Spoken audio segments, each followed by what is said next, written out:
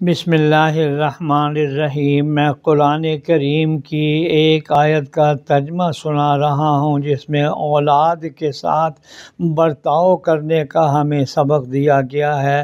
ترجمہ سن لیجیے، سورہ تحریم ہے، اٹھائیسواں پارہ ہے۔ ترجمہ سن لیجیے آیت کا۔ اے ایمان والو، اپنے آپ کو اور اپنے گھر والوں کو آگ سے بچاؤ۔ جس طرح اولاد کے ذمے ماں باپ کا حق ہے، اسی طرح ماں باپ کے ذمے اولاد کا بھی حق ہے۔ اس آیت میں اللہ نے حکم دیا ہے کہ اپنے گھر والوں کو دوزخ کی آگ سے بچاؤ۔ یعنی ان کو تمام ایسے کاموں سے روکنا چاہیے جس سے دین اور دنیا برباد ہو۔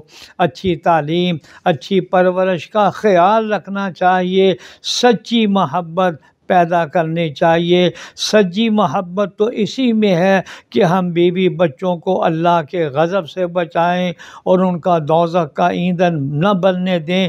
خدا نے قرآن میں فرمایا کہ نیک بندے جس طرح اپنے ماں باپ کی بخش کی دعا مانگتے ہیں، اسی طرح وہ اولاد کے حق میں بھی دعا کرتے ہیں۔ وہ اصلحلی فی ذریتی چھبیسواں پارہ سورہ اوقاب ترجمہ یہ اے اللہ، میرے لیے، میرے کاموں کو اور میری اولاد کو نیک بنا دے۔ رسول اللہ صلی اللہ علیہ وسلم نے فرمایا کہ ایک باپ کا اپنے بیٹے پر ادب سکھانے سے بڑھ کر اور کوئی احسان نہیں ہے۔